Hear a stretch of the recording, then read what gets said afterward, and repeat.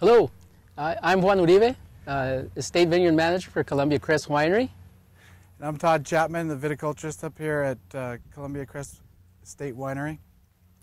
And uh, we're going to talk a little bit about what, what we do at Columbia Crest to make a great wine. So uh, talk a little bit about um, uh, this area, this AVA area here at uh, in the Paterson Vineyards, Horse Heaven Hills. Uh, we have about 20, a little over 2,100 acres here at this vineyard location, and uh, uh, we different kind of varieties out here that we grow. You know, Merlots, Grenaches, Rieslings, Cab Sauves, you know, and um, and we're closely right by the Columbia River, so we get our, our irrigation water from, from that source. So it makes it uh, easier for us to manage, you know, the canopy growth and the also the uh, the uh, uh berry sizes. So at any time, if there, if you feel, uh, if anybody has a question, feel free to jump in and ask us a question, and we'll try to answer the best we can. Yeah, a little bit more about uh, Horse Heaven Hills, just as an AVA overall. Uh, it's tucked in between the Yakima Valley and the Columbia River. Um, I think we're up to close to 15,000 acres in the AVA. It's one of the fastest growing AVAs. Um, we, I'm trying to think of, I think 25% of the, the fruit that comes out of the state of Washington uh, is sourced from this AVA. So it's uh, it's a large area and it's growing fast because uh, you know because of the climate. It's suitable for wine grapes. Um, elevations range from 300 feet to 1,800 feet, um, and it's just uh, it's a good place to grow now that we have a, a water source you know available with the Columbia River. Um, today we wanted to talk to you a little bit about Sauvignon Blanc, which is kind of uh, an up and coming varietal. It seems to be it seems to have gotten really popular here, especially in the last two or three years. And uh, and we want to show you some of our some of our Sauvignon Blanc fruit here in the vineyard.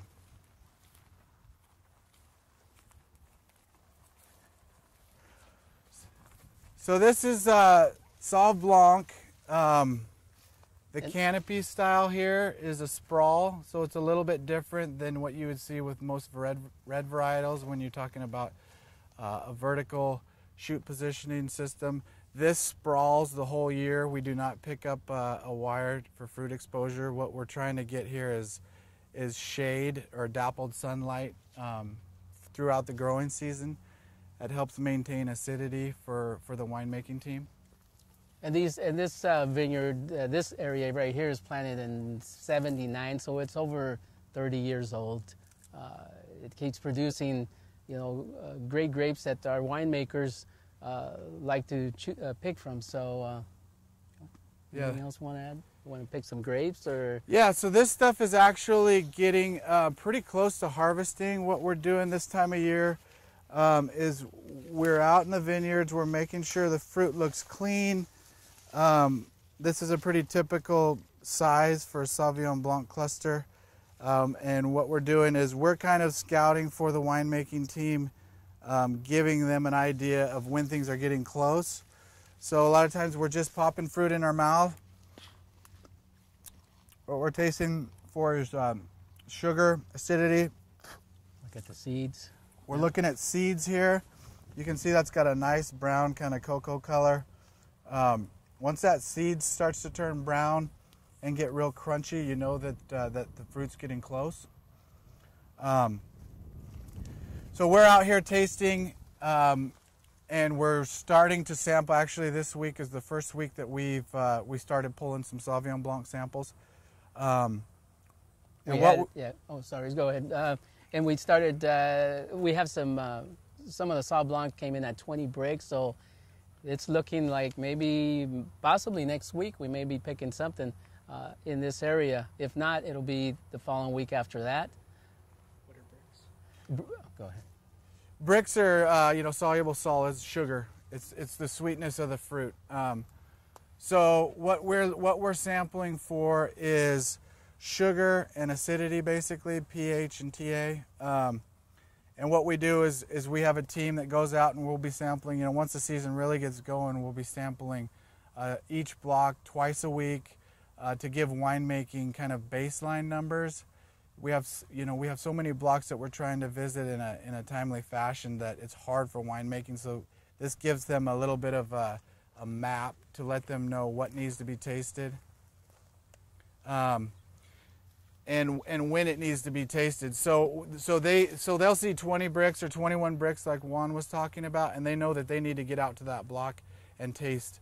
And winemaking's tasting, you know, that the numbers give them an idea, but they're really tasting for certain flavor flavor profiles. So like Sauv Blanc, you're um, like I spoke about, you're getting shade, so you you want nice bright acidity.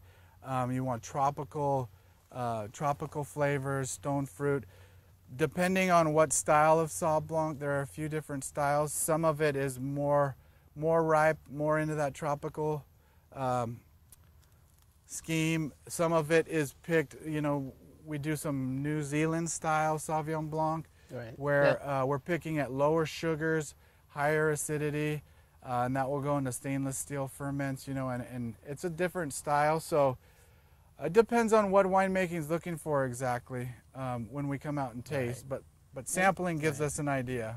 And ultimately, it's the winemaker's decision. They come out here. Sometimes the Brix are there, but they're they uh, still waiting for the TA and the pH and all that. So, and they come out like Todd was saying. Once uh, once in a while, they come out, venture out into the vineyards, and Todd's usually with them because Todd's our viticulturist, and uh, he's driving around with them, and they do a little tasting at different blocks in this uh, whole vineyard location. Um, and then they send us the information. We do the schedules, and we get rolling, start picking.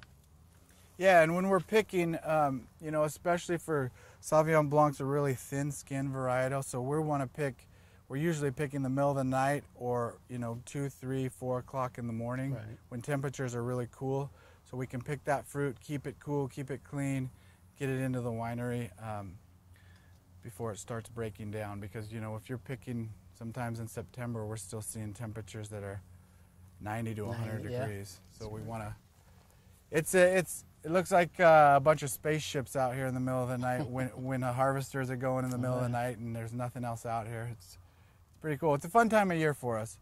Uh, everybody's excited. You know, you think about in your career, you're probably going to only get 20 or 30 chances at you know at making wine. You know, each vintage is going to be different. So it's pretty important, and I think everybody's excited this time of year. Right. We also um, we took some samples of some red grapes um, that we wanted to talk a little bit about and show show you guys um, some of the different things we do. So for Grenache, and as, as our first example, you can see this is Grenache that was planted in 1978. Um, some of the oldest Grenache in the state. And what we do is we come through early spring and we actually would cut this cluster in half because Grenache is such a big, uh, big variety, big berries.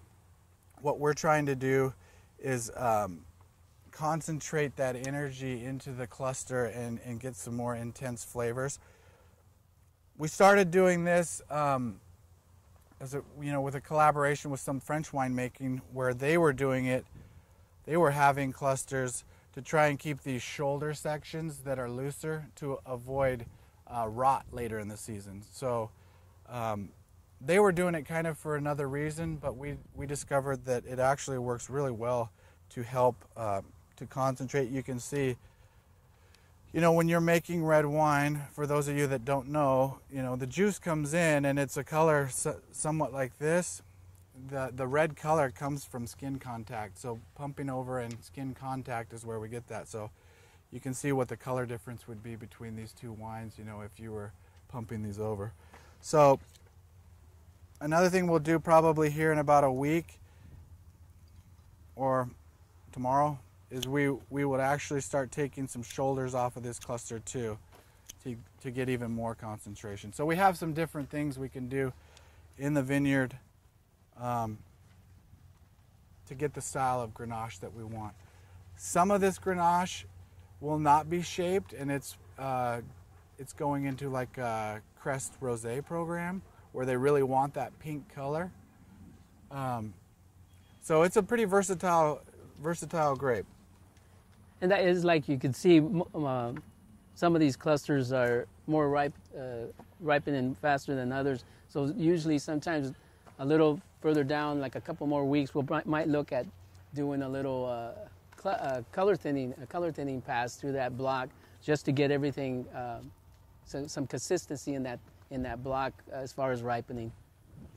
Yeah, so so like Juan's talking about, the key is you know balance balance crop load. Um, you know balance fruit crop load with your canopy, and you really want to have a uniform ripening. So what Juan was talking about with green thinning, as you can see, like uh, maybe let's grab a Merlot cluster Merlot? or cab cluster. Yeah.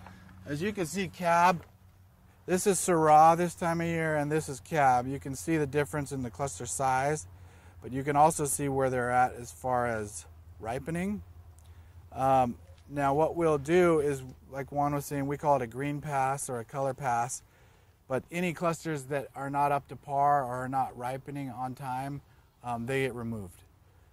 So that way, when winemaking comes in, they get a they, they know what they're getting. They're getting a nice, consistent fruit base. Right. Um, so we grabbed. You saw the Grenache. We grabbed the Syrah. This is a cab cluster. Here's some Merlot. And here's some Merlot. So you can see, you know, side by side, The differences. you can see side, oh, let's get out of this. Side by side, the differences in clusters and where they're at as far as ripening.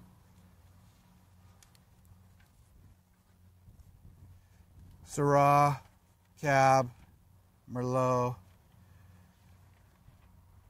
Uh, Cab. Cab, I think that's yes. another Cab cluster. No, th- this is a Merlot. Oh, Merlot, Yeah, okay. yeah.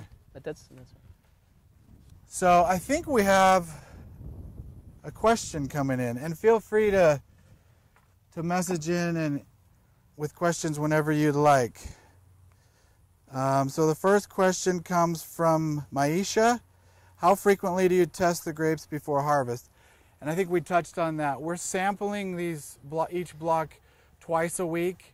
Um, typically one grower sample and then one company sample but we're also the closer we get to knowing uh, that when we're going to pick those grapes, you know, we could be visiting blocks three or four times a week with winemakers because they're really trying to nail that pick date. And the numbers tell you something, but the winemakers are looking more at flavors at that, you know, once once we get that close.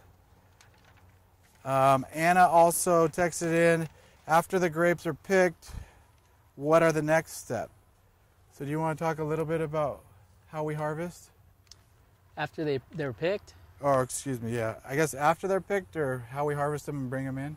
Well, once we get uh, this our schedule, uh, everybody's uh, set to to um, the winemaker's happy with what he's seeing. We pick them uh, with the harvesters, and then uh, we take them up to the winery, um, and they put them through the presses, uh, and uh, then they, they do all their work from there. They got a full crew out there that does all that uh, uh, uh, pressing and all that, and Yeah. So so the big difference between reds and whites, uh, reds will be brought in through uh, directly through the crusher stemmer, um, and then they will be pressed right there. They do not ferment on skin, so they'll be fermenting as juice in a tank. Red red fruit comes in, it goes through the crusher stemmer, the whole berry goes into a tank, um, and then we start ferment. And then you know two or three times a day, they're pumping that juice over the fruit, getting that skin contact for tannin development, for color, um, and so th- that that's the big difference between reds and whites. well, to touch a little bit about the uh, uh, harvester that de-stems in the. Uh, uh, we, we have a harvester that the company uses at different vineyard locations uh, that um, it actually, w- with the reds, that these stems them out, in the field. So all those stems fall out. So when we get uh, uh, the pro- finished product, it's just whole berries and not so much, hardly any uh, stems at all. And the winemakers seem to like that process. They still, uh, they still have a, in the winery, like Todd was touching on, that they, they, they do the, um, uh, they do put it through the, the stemmer also there. So uh, we have two different types of methods we can use also. Yeah, the the machinery has really, um, you know, technology is advancing so fast. We have uh, harvesters that will sort the fruit basically in the field, and then we have optical sorting once we get into the winery. So winemaking can actually set the parameters of of the type, you know, the berry size, how big or small they'd like that, the berry color, how big or small they'd like that. And then when it comes in, it's it's already relatively clean, but once it goes through the sorter, uh, you know, it's kicking out anything that they that doesn't meet their their standards. So they're ending up with a very clean final product. Right. Okay.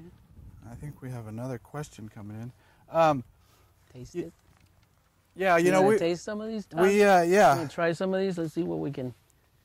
So Susie, Susie uh, messaged in, which grapes do you think will ripen first? And the Sauvignon Blanc typically, uh, you know, your whites are typically ahead of your uh, your reds. You know, so we'll be picking Sauv Blanc, Chardonnay, um, Chenin Blanc, Pinot Pinot Gris, Pinot Gris.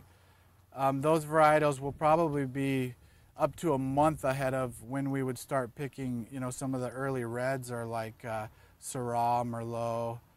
Um, usually Cab is at the tail end. Cab needs hang time. Um, so yeah, whites all, usually come in before reds. You know, there's a little overlap between red and white varieties, but for the most part, whites are first, and then reds really get going. You know, we can be picking cab up until November sometimes on cooler years. This year is, uh, you know, growing degree day wise or heat heat units, we're just above a, a long, our long-term average. Um, and right now, the way things are shaping up, it looks like a pretty normal year as far as harvest dates.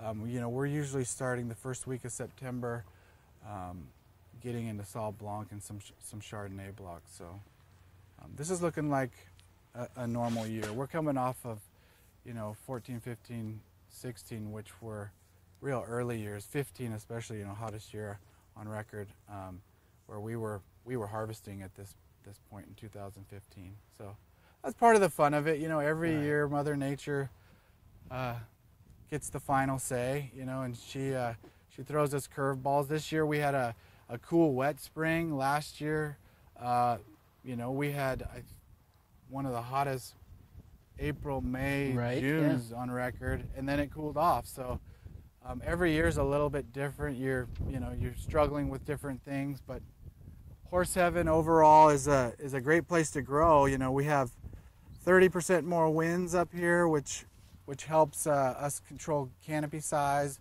berry size. Um, you know, pest and disease pressure is, mitigated a lot of times because of that wind. Taste. taste. So, um, like Todd was saying, I mentioned the wind, and usually up here it, we always have a breeze. It's hardly seldom that it's calm here. There's always a, a breeze or sometimes real windy. Uh, but that helps, like Todd says, with the canopies, canopy management, and uh, you know uh, berry size and so forth. So Yeah, it's just an added layer of stress to the vines. You know, it keeps them keeps canopies in check. If you can imagine these clusters, you know, on the vine, banging back and forth, uh, you know, it, it toughens up the skins. You get a, you end up with a thicker skin. So winemaking is always talking about skin to juice ratio. Um, so you end up with, you know, they call them dusty horse heaven tannins. But you know, you guys have seen that the wind's usually blowing up here, and we have a really fine fine silty land, uh, silty loam soil, sandy. Um, so you can imagine, you know, when you've got 20 mile an hour winds, what that dust is doing, and it's it's uh, it provides a you know a, a different element to these vines. So we're tasting, uh, you know, we've gone through this Grenache is probably you know 14 or 15 Brix. Um, it's still got a lot of really bright acid. It's got some of the more green flavors, like bell pepper, almost like a tomatoey flavor. It's not something you'd want to eat on a regular basis. all right. Um, where's the Syrah? So you can. s- oh, this is, Syrah's on there. Syrah's is pretty much 100% through Veraison, um, and it's tasting nice. It's got some softer flavors, more of like the the jammy kind of strawberry, blueberry. Um, but it's probably got another three weeks of hang time before the flavors that winemaking is looking for are, really developed. Um, as you can see, like Uh, this is Merlot. It's a bad cluster. Merlot's still, you know, it's probably 90% through veraison. It's still got quite a few green berries in there. We grabbed a few different clusters, some pink and some green. Um, this is going to be probably not worth tasting at this point. Uh, there's not a whole lot of sugar development, and Come on, Todd, Ted, Todd, taste it just just so they could see. see your facial expression. And then this is uh, this is cab. You know, so another thing we're really trying to achieve in the vineyard is berry size. So you know, red varietals, we're imposing deficit irrigation um, right after fruit set. When cell division's occurring in the berries, we really want to uh, limit water and try and keep those berries as small as possible. So, like I said, winemaking really wants a nice, tight BB sized berry because that's just more tannin um, and less juice for them, and, it, and you end up getting more concentrated flavors. You can taste that one. You want me to taste it? Yeah. All right. Take the enamel off your teeth. I don't know. Let me Yeah. check and see if there are any more questions. Okay, so we got another question. Andy uh, came in with, "What time of day do you pick grapes?" And I think we touched on that. Yeah, it's usually it's usually in the evening or early, early in the morning. Uh, you know, uh, because of like Todd had mentioned earlier, we want to make sure that uh, uh, that that whatever uh, we harvest that day does. We don't have it sitting out there in the hot sun all day, you know, for a couple hours, three hours. So we try to get them in, try to keep with our schedule. If they say they want uh, uh, uh, uh, load by 4 a.m. We get in here sometimes at midnight, try to get those loads picked before before their scheduled time. That way they go in and they, they go through the process in the presses uh, as, as quickly as possible. And if we're hand picking, you know, obviously it's tough to hand pick at dark, but but we But will. we have done it. We will, yeah. We have done we it. We bring floodlights out if uh, if we have a high Yeah. priority block, or we have headlamps that uh, the crews can wear. Um, Yeah, we had one cab sauv uh, block that we picked at night, and we just brought in, like Todd was mentioning, some floodlights, and uh, and everybody. I mean, it was like daylight. You know, everybody was able to see what they were doing. They just had to be careful, but it, it's it had it can be done. yeah, that's uh, that's another fun part of harvest is everybody's kind of on a different schedule and got different responsibilities. So, you know, the first six weeks of harvest, everybody's usually pretty energized Oh, and yeah. and uh, and excited, and then you kind of get into that grind, and by the end of October, you know, I think people are are ready for the next chapter. Yeah. Things kind of move into the cellar, and then you know, winemaking is doing a lot of racking and starting to get ready to bottle some of the whites. Um, I think we have another question. Anna asked, "What does veraison mean?" When are you talking about the grapes? Okay, so veraison is when grapes start to color. Typically in red varietals and in whites, they will get uh, almost like a translucent color. Um, so there's kind of two periods in in, uh, in grape development. I don't know if you can. Sauv Blanc's not. Let me grab another. Uh, the two periods. The first part of the season, grapes are developing um, acid. And the second, and then there's lag phase, which is basically where things stop for a week or two in grape and berry development. That's an important time of year for us because that typically is about half of the final cluster weight. So we're trying to do a lot of yield estimation during that period. Uh, that's called lag phase. And then the second half of the season is, or you get into veraison where you're getting into color development. White varieties become almost translucent, but that is when you're uh, developing sugars. So your acid's dropping and your sugars are increasing. that is what we were referring to as veraison. Veraison, veraison. You could say it any number of ways. Let's see, I think we have another question. So, Anna, oh wait, same question. what does veraison mean? Um, well, Well, I think we've covered pretty much a, a, a full season. Um, it was fun to get the chance to talk to you guys. yeah. Thanks. Uh, thanks for the, all the questions you had, and it was great. Hopefully, It's we a beautiful a day today. Sun's out. It's a little breeze. Um, about 80, 80 degrees out here. So It's feeling Great. like harvest. yes, getting close. Thanks. Thank you.